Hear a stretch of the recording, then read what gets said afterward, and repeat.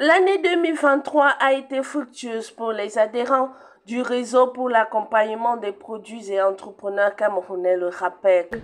Une petite entreprise a besoin de, grandir. Et pour grandir, il faut qu'il y ait des moyens qui vont permettre à euh, cette petite entreprise de pouvoir grandir. Et vraiment, euh, je suis tellement satisfaite. Je suis satisfait de la manière avec laquelle elle s'est tenue. J'aimerais que la prochaine assemblée soit encore meilleure que celle-ci.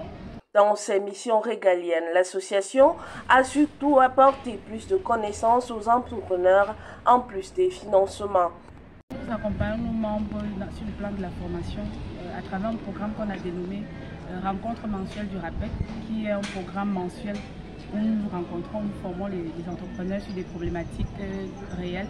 Et nous avons aussi un programme de financement de nos membres.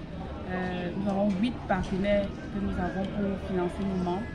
Euh, nous avons accompagné tout au long des cinq années qui s'écoulent plus de 1000 entrepreneurs et nous avons aujourd'hui à date 261 membres. Le bilan positif de l'année 2023 est consécutif à la stratégie mise sur pied depuis cinq années déjà.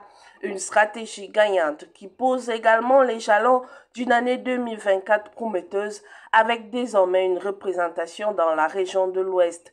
En 2024, on envisage véritablement de capaciter nos entrepreneurs à travers deux programmes, Émergence PME et Free, Free Tax. Donc ce sont des programmes qui vont capaciter nos entrepreneurs afin qu'ils puissent bénéficier de toutes les opportunités de financement que nous avons pu obtenir auprès des partenaires. L'Assemblée générale de Yaoundé était donc le lieu d'évaluer le chemin parcouru.